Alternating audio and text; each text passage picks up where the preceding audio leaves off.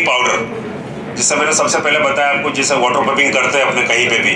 तो सबसे पहले तो सरफेस को क्लीन करते हैं, उसके बाद क्रैक देखते हैं। अगर छोटी बड़ी क्रैक है तो उससे क्रैक फिलिंग पाउडर से उसको भर सकते हो।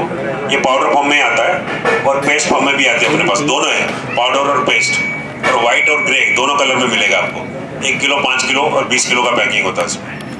पाउडर फॉर्म में क्या होता है कि पानी में पाउडर मिक्स करके उसको पत्थरे से लगाना पड़ता है और पेस्ट फॉर्म में क्या रेडी टू यूज़ होता है। सीधा डब्बा खोला और पत्थरे से लगा दिया उसको। क्रैक फिलिंग पाउडर लेकिन जो पाउडर होता है उसको क्या है कि दो तीन दिन आपको पानी थोड़ा तराई तराई करनी पड़ती है थोड़ी दो तीन दिन। वो क्रैक फिलिंग में पेस्ट में आपको उसकी ज़रूरत नहीं पड़ेगी आपको